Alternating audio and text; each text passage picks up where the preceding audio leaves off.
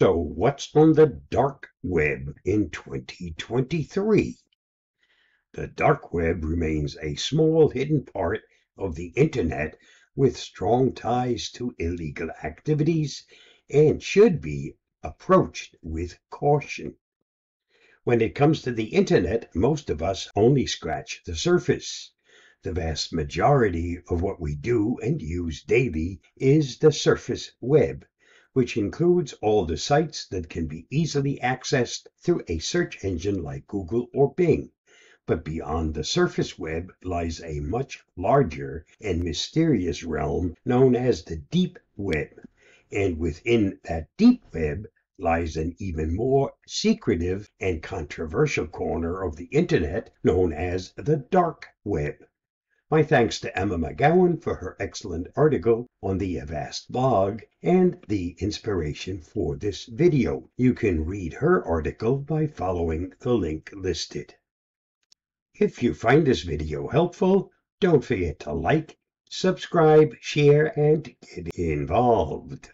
So what exactly is the dark web?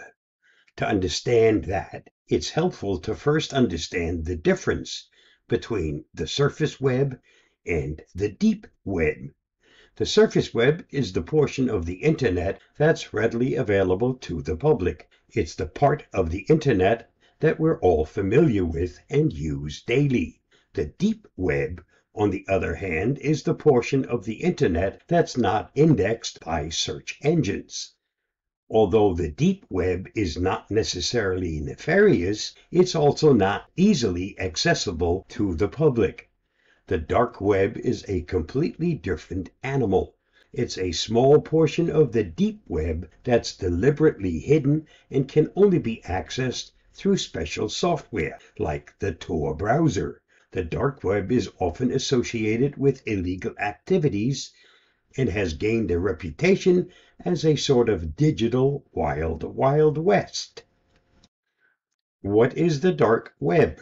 The dark web is a collection of sites and services that exist on an encrypted network, accessible only through special software like the Tor browser. These sites and services are often anonymous and operate outside the purview of law enforcement and government oversight. The dark web is often associated with illegal activities such as drug trafficking, illegal firearm sales, and hacking services. However, not all activity on the dark web is illegal. For example, journalists and activists have used the dark web to communicate and share information without fear of government surveillance. Additionally, some people use the dark web to purchase legal goods and services anonymously. It's also important to understand that the dark web is not synonymous with the deep web, as mentioned before. The deep web includes any part of the internet that's not indexed by search engines, and it's not necessarily nefarious.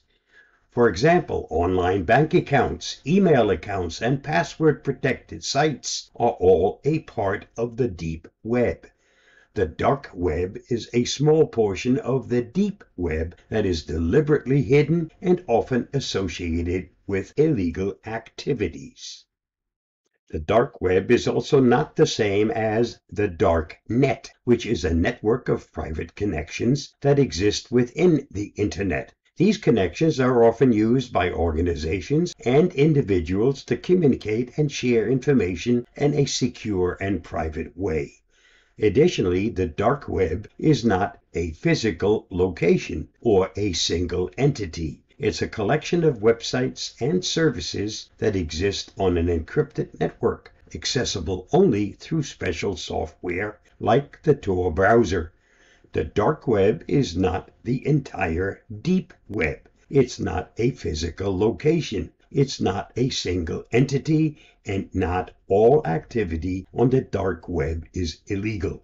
It's a small hidden portion of the internet that's associated with legal activities, but also serves as a tool for journalists, activists, and other individuals that seek anonymity and privacy.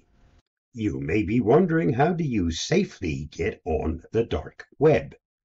Before you even think about connecting to the dark web, it's crucial that you connect to a reliable and safe VPN.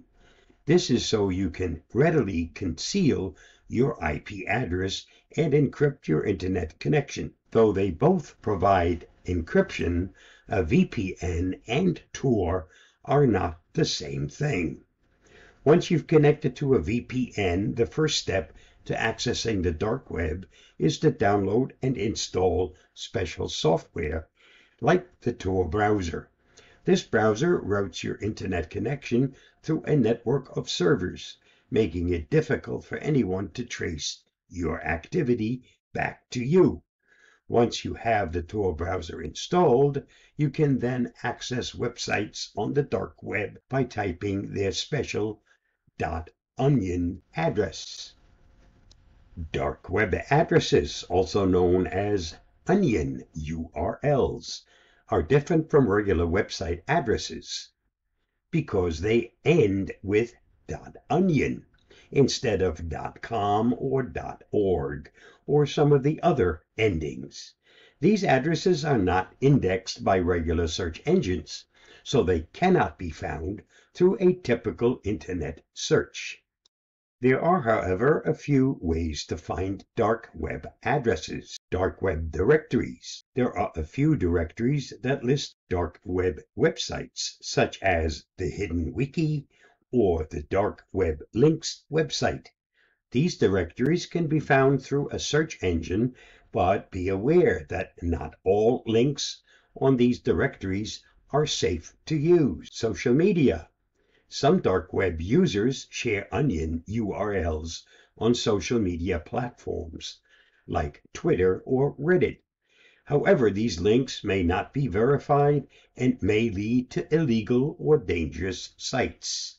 Another way to find dark web addresses is through referrals. Some users may share dark web addresses with each other directly through personal referral. This can be a safer option than finding links through an unverified directory or social media posts, as long as you trust the person sharing the link.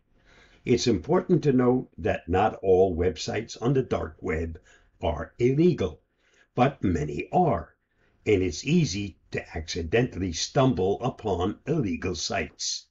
Therefore, it's important to be cautious when accessing the dark web and to only visit sites that have been recommended by a trusted source.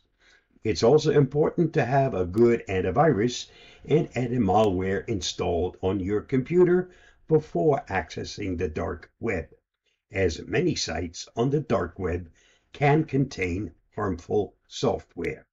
Simply put, the dark web is not a safe place. It's a breeding ground for illegal activity and a haven for cybercriminals.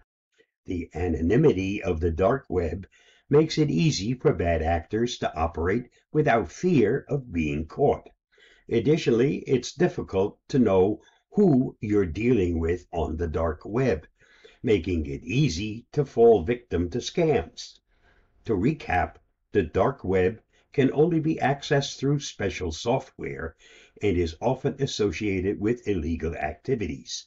While not all activity on the dark web is illegal, and it's not illegal to get on to the dark web, it is not a safe place, and it is not recommended to access it without a special purpose and caution. Additionally, many of the activities that take place on the dark web are illegal, and law enforcement agencies are actively monitoring the dark web to identify and prosecute those engaging in criminal activity. It's also worth noting that the dark web is not the only place where illegal activities take place on the internet. Many cybercriminals operate on the surface web and the deep web as well.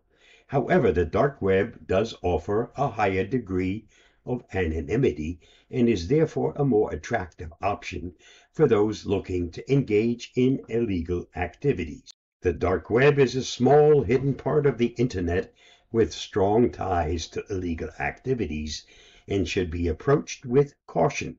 It's important to be aware of the risks and to understand that just because something is on the dark web doesn't make it illegal. Be sure to protect yourself by staying informed, using cybersecurity products and services, and avoiding accessing the dark web unless you have a specific and legitimate reason to do so. Stay safe, stay secure, and I'll see you again soon. Bye bye.